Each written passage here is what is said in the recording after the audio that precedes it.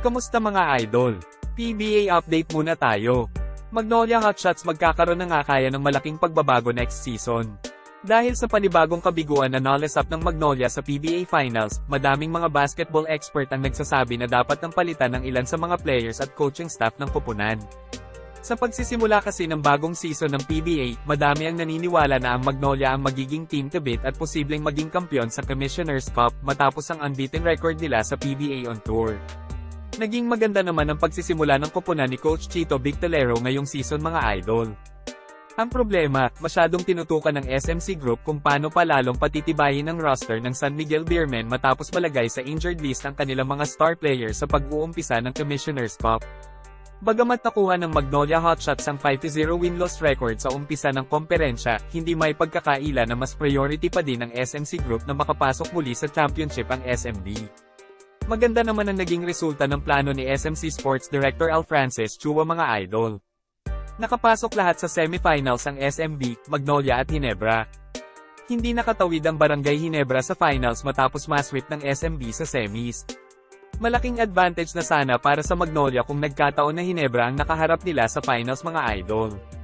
Kung tutuusin, naging delikado din ang sitwasyon ng Magnolia sa semifinals dahil pinahirapan din sila ng independent team na Phoenix Super LPG, bago sila makapasok sa PBA Commissioner's Cup Finals para makaharap ang sister team na SMB.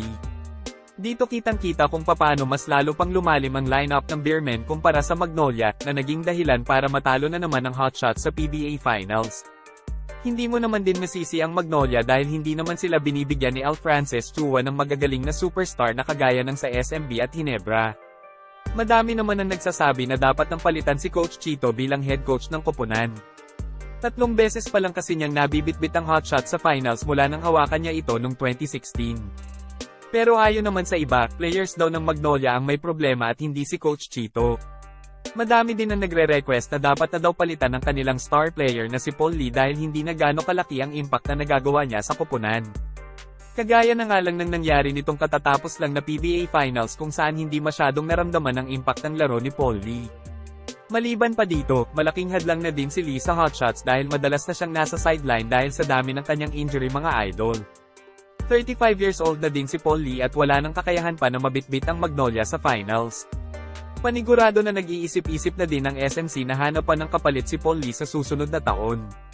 Mayroon pa naman pagkakataon si Paul Lee at ang Magnolia mga idol.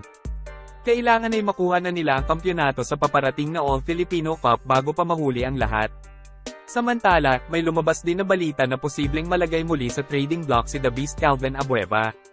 Si Abueva daw kasi ang dahilan kung bakit nasira ang laro ng Magnolia nung Game 1 and 2 kaya natalo sila sa Beermen.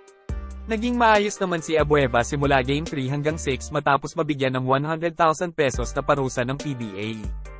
Pero ayon sa balita, kakausapin daw si Abueva ng Magnolia Management kung ano ang magiging desisyon nila sa future ni Calvin Abueva. Hanggang dito na lang muna mga idol. Maraming salamat sa panunood. Kita-kits ulit tayo sa videos na aking ipapalabas patungkol sa basketball. Kung bago ka pa lang sa channel ko, please consider to subscribe at huwag kalimutan pindutin ang like at notification bell button para updated ka sa videos na aking ipapalabas. Salamat mga idol!